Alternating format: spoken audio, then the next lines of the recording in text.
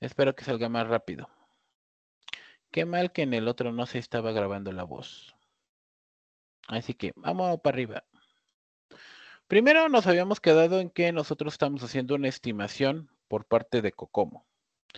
Y en esa estimación por parte de Cocomo, teníamos que establecer los puntos de función, que es cuando empezamos a hacer esto de aquí, que son los parámetros de las entradas, las salidas de usuario, las peticiones, los archivos, las interfaces, que es cuando hacemos un cálculo por puntos de función. Y nosotros hicimos este documento donde nosotros definimos el número de entradas, de salidas, de peticiones, de archivos. Recordemos que estos archivos es el número de tablas que va a tener la base de datos y de interfaces. Entonces, por ejemplo, el número de entradas, vamos a decir que son 12 y tenemos 9, 1 y 1.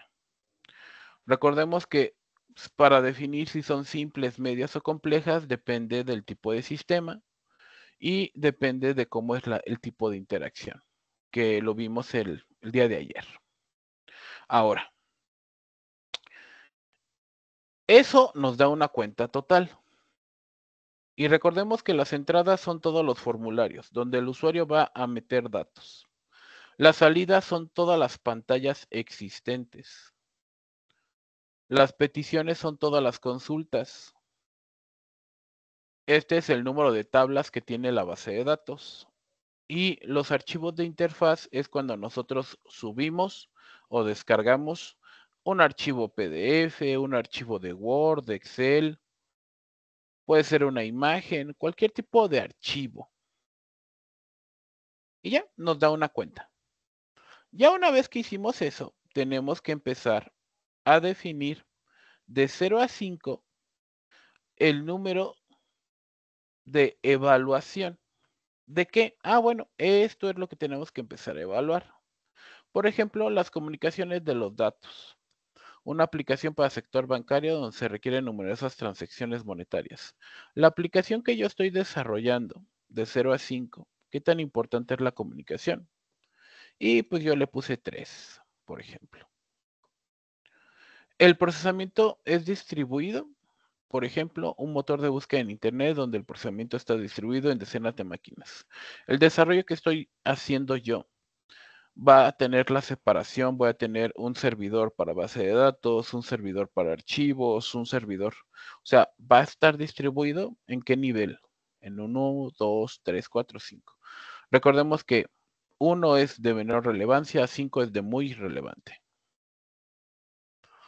Objetivos de rendimiento, una aplicación para el control de tráfico aéreo que debe proporcionar continuamente información precisa. ¿Qué tan importante es la información que yo estoy procesando?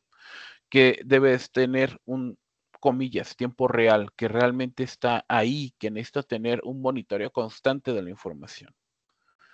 Configuración de uso intensivo, un sistema para matrículas de universidad donde concurren cientos de alumnos al mismo tiempo necesito tener muchísimos usuarios que estén interactuando con esa aplicación, sí o no. Aquí es donde es muy importante entender a quién va dirigido, cuántos usuarios lo van a ocupar, cada cuándo se van a conectar, qué es lo que van a hacer. Tasas de transacción rápida es una aplicación para el sector bancario donde deben realizarse millones de transacciones durante la noche. ¿Qué tan rápido yo voy a estar manejando transacciones? ¿O voy a tener transacciones en el sistema? O sea, voy a tener que definir pagos. Entrada de datos en línea, un programa en el que los datos de entrada provienen de papeles o formularios impresos. Esto se refiere a que yo tenga que hacer un análisis de datos a partir de un archivo que tenga que subirlo, que tenga que tener, por ejemplo, una entrada de datos por código de barras, por código QR. No una entrada a partir de un formulario, sino que realmente tenga diversidad a partir de esos elementos. Amagabilidad en el diseño, un programa de análisis financiero utilizado por un directivo de la empresa capaz de orientarte y asesorarte. Aquí estamos hablando de la experiencia del usuario. ¿Qué tan importante es la interfaz? ¿Qué elementos va a tener? ¿Cómo va a ser la interactividad? Sí. Del 1 al 5, ¿qué tan importante es esto? Actualización de datos en línea, una aplicación para reserva de billetes en la que debe bloquearse y modificarse ciertos registros de la base de datos para evitar que un mismo asiento sea vendido dos veces. Entonces, por ejemplo, aquí es donde vienen las citas en línea, donde tengo que valorar si hay disponibilidad o no, donde voy a hacer modificaciones o transacciones internas dentro de la base de datos. ¿Qué tan importante es? Procesamiento complejo, un sistema para diagnóstico médico el cual realiza costosas operaciones de decisión lógica hasta obtener un resultado. O sea, necesito tener dentro del sistema un análisis de datos mediante el cual yo tenga que tener operaciones, cuadros de decisiones. ¿Qué tan importante es? Reusabilidad de un procesador de textos. Que, por ejemplo, su barra de menús puede utilizarse desde un hoja de cálculo, un generador de informes, etcétera. Aquí estamos hablando de los componentes que yo estoy desarrollando, armando. ¿Qué tantos van a ser reutilizables? ¿Qué tanto voy a reutilizar del código? ¿Todo es código al cero, o sea, desde cero, o estoy reutilizando otros elementos? La fácil instalación, cualquier aplicación de propósito general de tal forma que cualquier persona pueda realizar una instalación rápidamente. O sea, estoy hablando de que mi sistema va a requerir que se instale en diferentes computadoras o no. Facilidad operacional, una aplicación para tratamiento de grandes cantidades de información donde es muy importante la efectividad de los procesos de backup y recuperación de datos. Entonces, por ejemplo, aquí facilidad operacional tiene que ver con ¿Cuánta información estoy manejando? Esos procesos, ¿qué tan complejos son? Y cada cuándo voy a crear backup de esos datos. Necesito hacer backups, por ejemplo, cada semana, cada 15 días, cada mes, cada tres meses. Ahí es donde vienen los niveles de importancia y va a depender obviamente de cuántas transacciones hago ¿Cuántas operaciones hago? Adaptabilidad, una aplicación de software para una multinacional con oficinas en varios países. Significa, por ejemplo, voy a estar manejando diferentes tipos de idiomas, voy a estar manejando diferentes tipos de caracteres, va a haber multicultural y versatilidad, un sistema que admite diversas situaciones de uso tanto para facilitar los cambios como para ser utilizada por el usuario. Ya cuando respondí todas esas preguntas, pues yo le tengo que dar un valor a cada una. Y esto siempre va a ser en función del tipo de sistema que esté desarrollando, porque cada sistema tiene sus particularidades. Y por ejemplo, nos dio 23. Y luego tengo un segundo cuestionario que también tengo que responder igual. Y por ejemplo, aquí va de 0 a 5, aquí sí puedo poner ceros. Y otra vez, requiere un sistema de copias de seguridad, se requiere comunicación de los datos, existen funciones de procesamiento distribuido, es crítico el rendimiento, se ejecutará el sistema en un entorno operativo existente y fuertemente utilizado. Eso significa a que, por ejemplo, estamos ocupando un sistema operativo exclusivo de la empresa o es exclusivo de los elementos. Por ejemplo, los sistemas operativos de todas las máquinas que son lavadoras, refrigeradores inteligentes, son propios, son sistemas operativos propios. Si yo me voy a conectar a ellos, ¿qué tan importante es? O, por ejemplo, en algunas empresas hay sistemas de monitoreo, por ejemplo, de redes, que utilizan sus propios sistemas operativos para el monitoreo. A eso se refiere.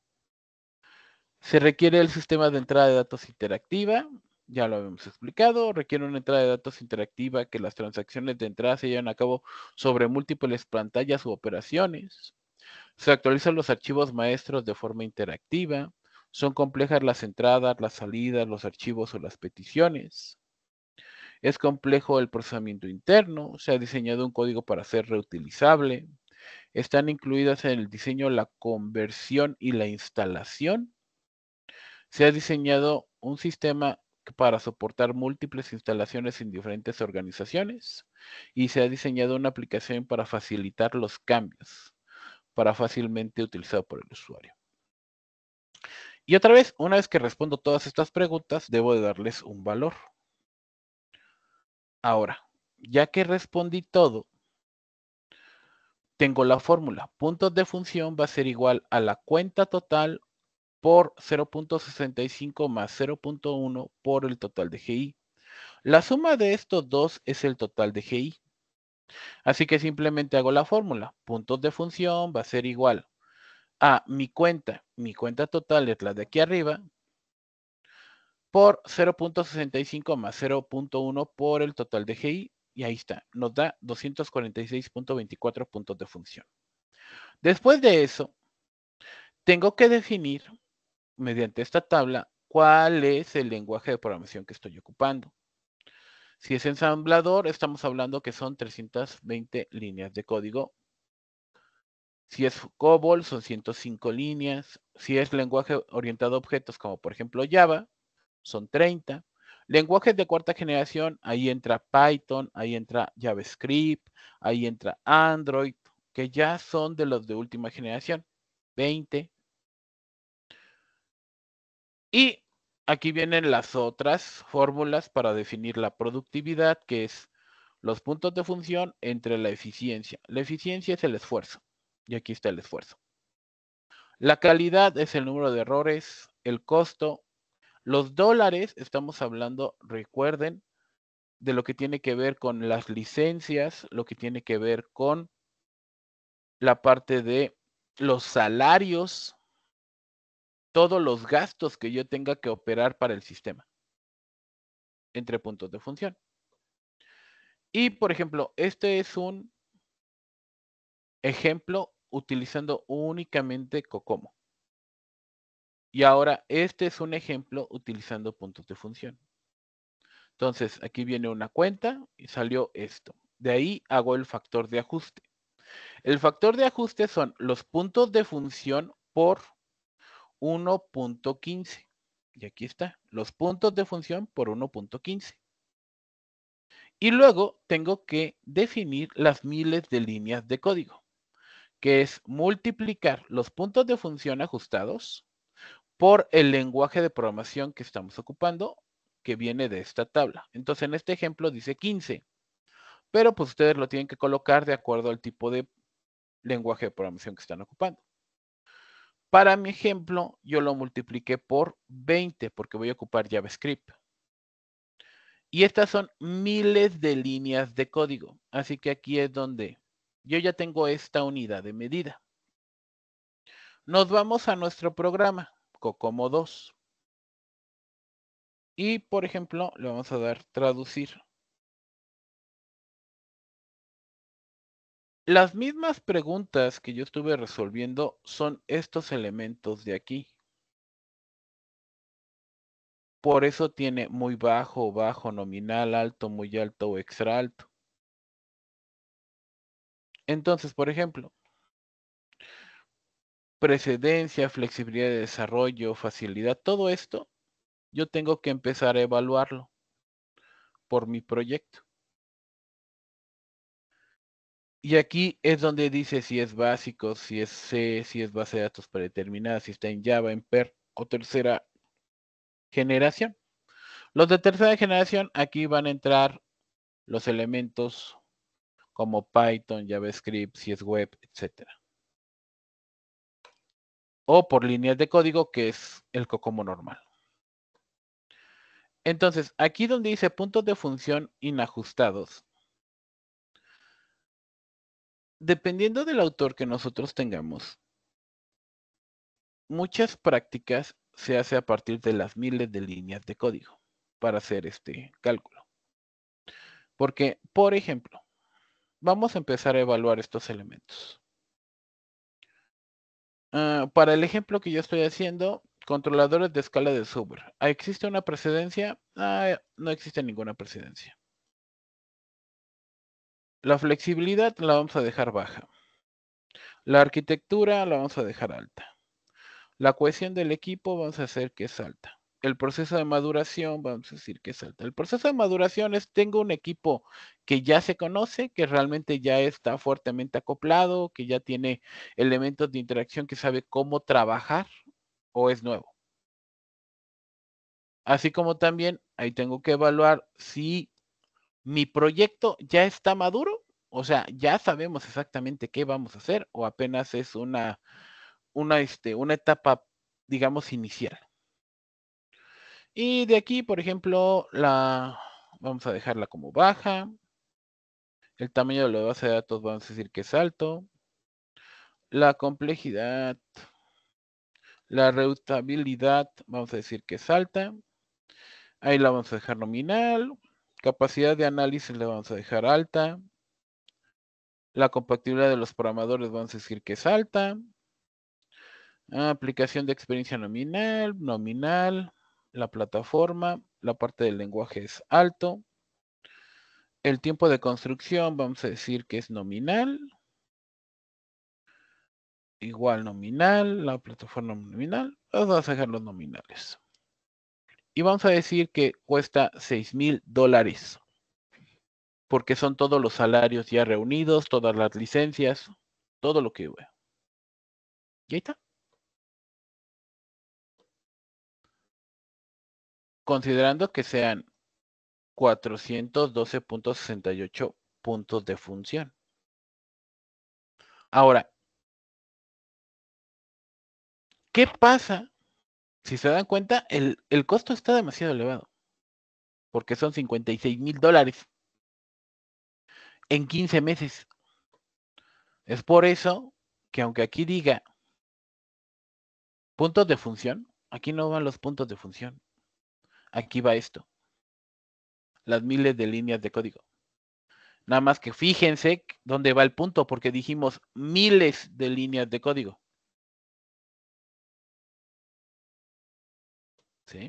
En eso sí, fíjense. Y ya está. Técnicamente con dos personas en cuatro meses, el costo del software es de 6.631 dólares. Y todo esto que nos aparece acá, vamos a darle otra vez traducir. Esto tiene que ver con las fases. ¿Cuánto voy a ocupar de personas? Aproximadamente cuánto tiempo les va a tomar y el costo que me va a salir cada fase. Sí. Obviamente, si esto lo aumentamos, le vamos a poner, por ejemplo, un 9.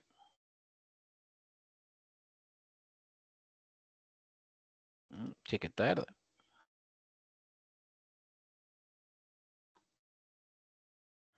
Control C. Y continuar.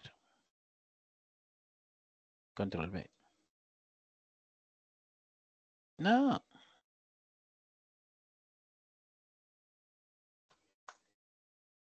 Ahí está, ahora sí ya. Ahorita no voy a evaluar nada, nada más por ejemplo. Calcula. ¿Ven cómo va aumentando? Así que todo esto, claro que tiene que ver. Sí. Y esto de aquí tiene que ver con la metodología RUP, que es una metodología tradicional para documentar.